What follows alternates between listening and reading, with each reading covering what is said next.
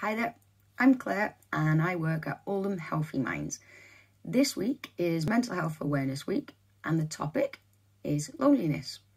In a recent study by the BBC, they actually found that loneliness is highest in younger people, with 40% of young people reporting struggling with loneliness, compared to 27% of those people struggling who classed as older adults. Loneliness can affect anyone at any age, and there is some ways that you can help yourself to try and combat that. First thing, try to be open and talk to people. Talk to those around you. Two, maybe look at engaging in some local activities, hobbies, sports, or even volunteering.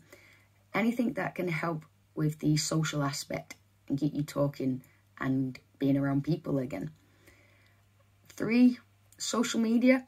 It can have great benefits, it can also have downsides.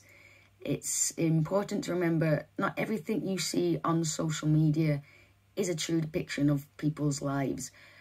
So make sure you use it for the right reasons to, to reach out and communicate and try not to compare yourself to, to others out there.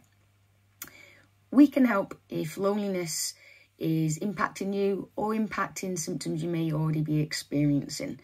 And through CBT, cognitive behavioral therapy, we can help you to learn tools and techniques to help combat any symptoms that you may be struggling with right now.